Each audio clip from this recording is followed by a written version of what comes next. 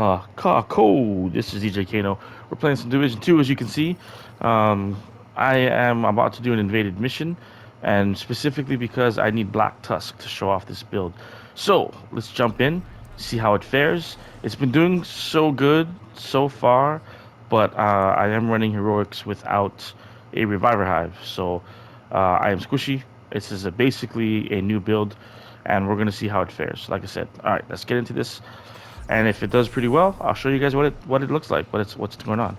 Okay, so boom, perfect. I'll take that. So I don't know if you guys notice it. We are on heroic. You see how much life came off of that dog? The purple dog on heroic. I just killed the dog with two jammer pulses, by the way. Yeah, yeah, I like it a lot.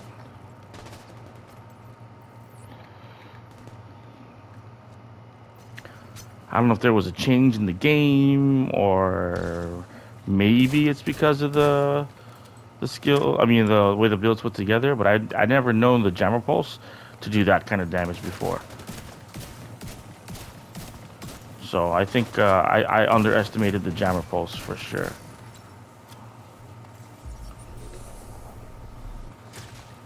Okay, so wide range.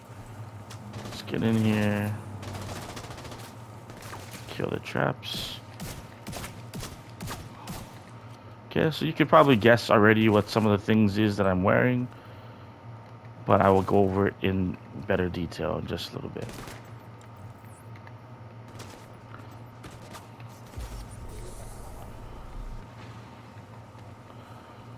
Didn't get the guy that was shooting me. It's okay.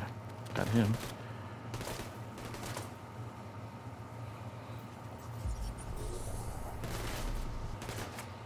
Okay, got both guys that were shooting me. Very nice. Just pumping out some statuses. There you go. Pulse again. Guy on the left, I haven't even shot him with my gun yet. And he's already... He's a red. Yep, granted he's a red. But he's drastically losing health. Alright, so... This build. I don't know yet what I think I already named it, but I think I need to get a better name. But uh, whatever you want to call this build, it is actually very good for Black Tusks because Black Tusks have a lot of the mechanics, uh, mechanical things when you play in the game. Uh, they have the tanks, they have the dogs, you name it, right? They have drones from the drone makers. So there was always a really great need to use the Jammer Pulse against Black Tusks. So let's take a look at what I'm using. All right, so it is a skill build, like I mentioned, all yellow. I'm really not going to do much weapon damage at all. However, we have the OP weapon, the Scorpio, which has um, incredible damage that comes with it, but also it has the poison, the disorient, the shock. It gives you statuses as you shoot it and get more hits, right? So we know this. We've used this before. A lot of people use this, but uh, the Scorpio is a really, really good weapon uh, for this build, right? I just have the Grudge. I happen to have it as a backup because it has has the perfect vindictive on top of it. So killing an enemy with the status effect will give you more more crits for 20 seconds. It's not super crucial to have it, but I figured it's a good secondary weapon.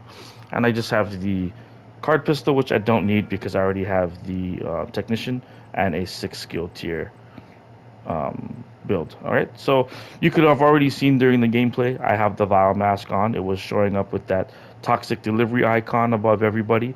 So every time someone gets hit with the Jammer Pulse, the Vile Mask will apply this toxic delivery and they'll lose damage over 10 seconds. Wait, sorry. Yeah, over 10 seconds, right? So they'll be losing damage every time I hit them with the pulse. And I can hit the pulse quite frequently because I have uh, skill haste mods on here. So skill haste mod, skill haste mod. All right. I'm getting skill haste from the three pieces of um, Hana-U. So skill haste, skill damage, weapon damage, as you can see as my brand set bonuses. So skill haste, skill damage are important for a damage build. Hana-U is very good for a skill damage build. And of course, Wyvern is also very good. Skill damage is just from one piece. Two pieces give me status effects which are what I want because I'm running the Jammer Pulse, which is a status effect. All right, so those are the pieces you would like to use for this build. Uh, how you roll it, that's really up to you. Do you want your status effects to be more effective, or do you want your damage to hit harder? So you decide. Okay, so I got skill damage, damage, status effects. I got status effects, skill haste. I got skill damage, skill haste, skill haste, status effects, right? So it really depends on how you want to roll this. Okay, it's up to you. Um, I have it pretty well balanced, right? So I think there's about three rolls of skill damage, three rolls of skill haste, three three rolls of status effects. right?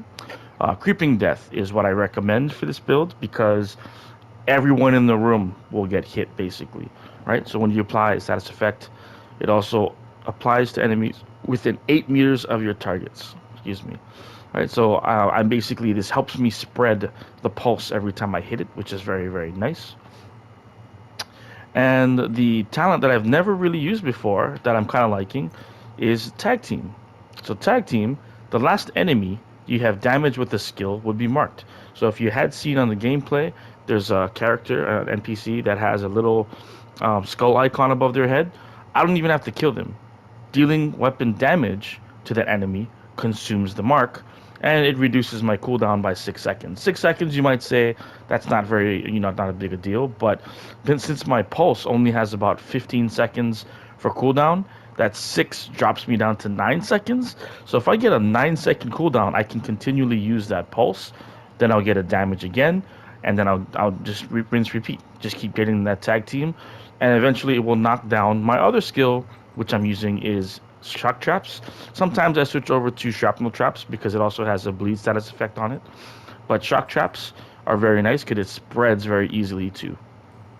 Okay, so that's basically it. It's really not that complicated of a build. It's just a matter of getting the right pieces.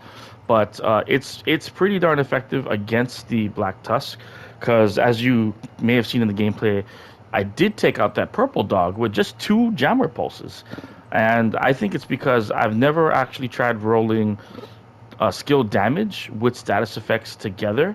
So I think that the, the pulse is doing some pretty decent damage in conjunction with the status effects. So I would give this a shot. So let's let's um, basically yeah. Well, well, before I continue on with the gameplay, let's wrap this up. Yeah. So basically that's it. I'm not doing anything super special. I do have the concussion grenade because it uh, applies bleed damage as well. Um, other than that, you know, you can give other skills with skill damage, uh, with status effects to try, maybe a Stinger Hive or so. But these are the things that I'm using the pulse is really what's making this build shine in terms of being a buster for the black tusk so uh, yeah give it a shot and see how it works for you. Um, i will wrap this video up right now at this point but i'm just going to continue on with some with some quiet gameplay. All right guys until next time shoots